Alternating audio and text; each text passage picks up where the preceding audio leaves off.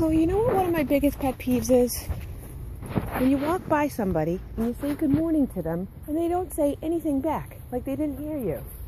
It's just so rude. It makes me want to slap them. Do I regret saying good morning to people?